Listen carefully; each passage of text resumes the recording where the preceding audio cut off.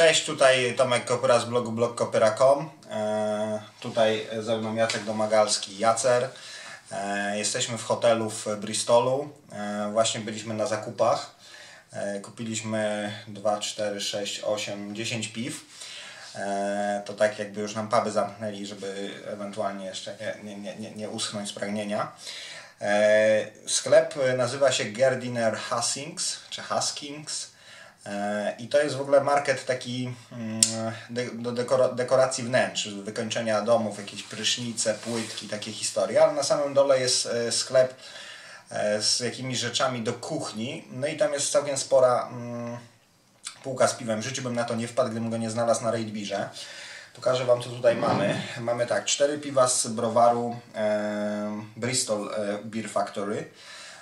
Tutaj mamy Ultimate Stout, Southville, Southville Hop. Nie wiem, trochę ze światłem problem, bo niestety lampy nie wziąłem. West Coast Red, to jest Amber Ale amerykański. Bristol Stout. Jeszcze miało być jakieś American Pale Ale, ale co jest? Chyba go nie wziąłem. Independence. To jest... E... O, to jest to American Pale Ale. E, oprócz tego mamy jeszcze dwa piwa z Samuel Smitha. India Ale i Imperial Stout. E, Bad Comp e, IPA.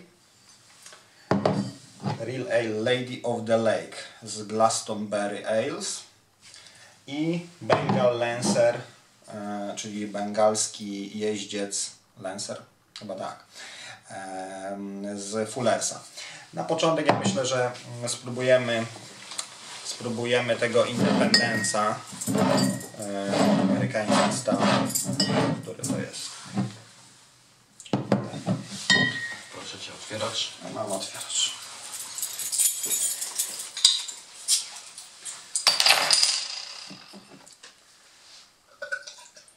Nie przepłukaliśmy szklanek, także nie wiem czy są czyste.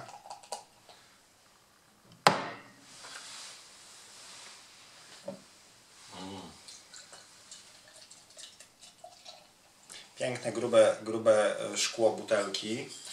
E, Co my tutaj mamy? To jest 4-6% alkoholu, e, czyli 2 unity, 2,3 unity. Dry hopping. Niestety nie piszą jakimi odmianami. No, spróbujmy. Czuć citron. Tak. Amerykańskie chmiele zdecydowanie, zdecydowanie obecne. Strzasnę, żeby nie było karmelków. Tak wygląda. Piękne, e, zamglone, e, takie ciemne złoto wpadające w pomarańcz.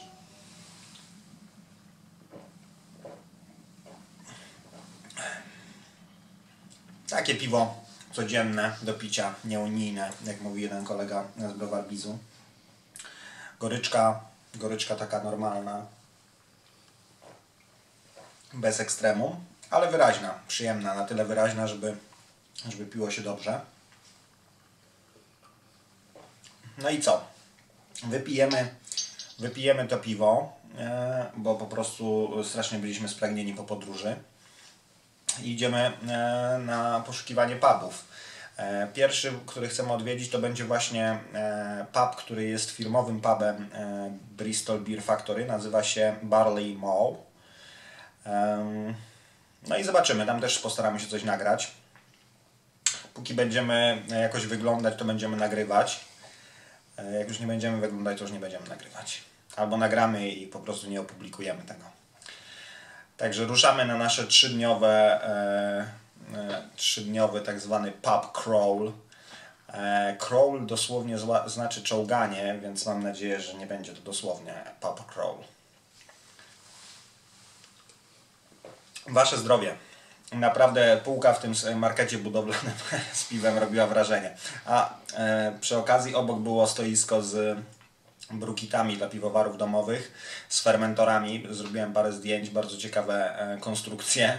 E, beczki e, z białego, znaczy z przeźroczystego z plastiku i na przykład zamknięte takim korkiem już z wbudowanymi złączami do podpięcia gazu, do podpięcia wyszynku, także jakaś no, nowa koncepcja.